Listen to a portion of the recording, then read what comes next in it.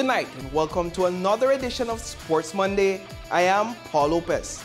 As we near the end of Women's Month, we begin tonight's coverage with highlights from the 33rd Women's Cross Country Cycling Classic. 11 riders lined up at the starting line in San Ignacio. Among them were three Belizeans, including defending champion Kaya Cattouse, four American riders, two Mexicans, a Trinidadian, and a Jamaican rider.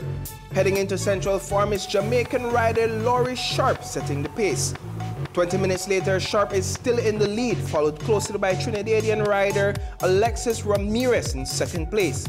At this point in the race, Kaya Cattouse is the only Belizean rider keeping up with the main field of lead riders. The other two have fallen behind. In Camalote Village, Sharp has displayed a great deal of endurance and stamina as she continues to lead the charge. Elias West Elizabeth Stevenson in hot pursuit. These riders have created a gap between themselves and the other riders. They maintained their lead until mile 40 when chase group caught up with them, led by LA Sweat's Mia Scarletto. Mexican rider Julie Aguila launched an attack just outside of St. Matthew's Village. LA Sweat's Regina Dotti immediately rose from her seat in hot pursuit. Well, folks, that was the last the other riders would see of Aguila and Dotti. Here is the main field of riders, two minutes behind the two lead riders. Kaya Cattouse, the only Belizean rider still in the pack, is among this group. Heading into Belize City, it is all Dotti and Aguila.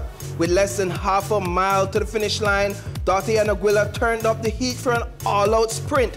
And here is it, folks, the sprint to the finish line. Regina Dotti in first place, followed by Aguila.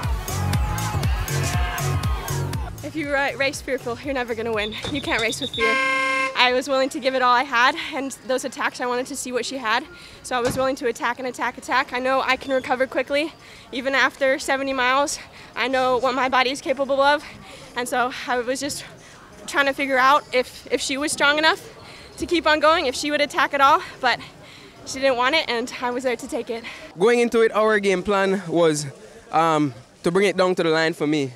Um, we quickly realized that the other team's focus was on me, and our plan B was to get one of our stronger pacers down the road, and you know, hopefully they could they could have delivered that W, and that's exactly what happened today. Um, when we realized we couldn't get away from them for the, the, the third place, they were in the three podium spots. Yeah. Um, I launched Liz down the road for that for that third spot, and she executed perfectly. So I think we're very happy with first and third. Um, Belizeans wanted a Belizean win, however we came for an LA Sweat win, and that's exactly what we got today. Kaya Cattouse came in sixth place.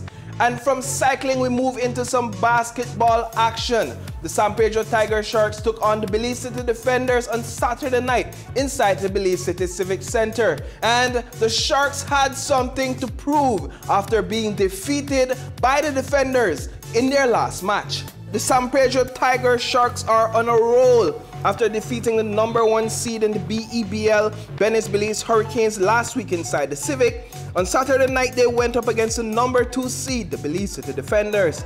It is safe to say that this is a new Tiger Sharks team we are seeing after also winning their game against the Defenders 104 to 70 points.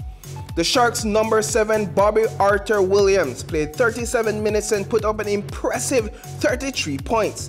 That includes 3 of 4 from the 3-point line and 5 of 11 two-pointers. Williams also banked 14 of his 16 free throw attempts. Francis Arana followed behind with 18 points off the bench, scoring 5 of his 10 two-point attempts and 2 of his 6 three-point attempts. He ended the game with 11 assists.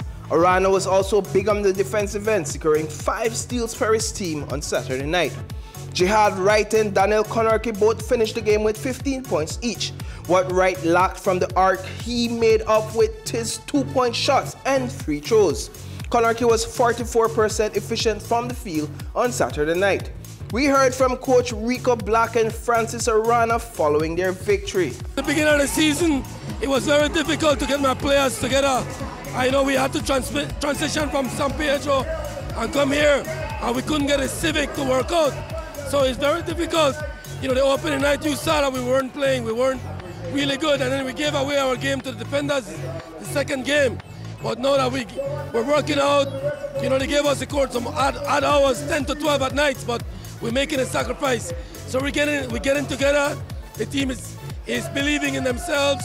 I'm using my, I'm letting my bench believe that they can play in this level. As the season goes on, we're gradually getting our chemistry together. So now we're learning to playing together much better and we're seeing the chemistry every night we come and work out and put in the work together and it is showing on the court now. The San Pedro Tigers Sharks are now second in the league's standing, making them the second seed up to this point in the season.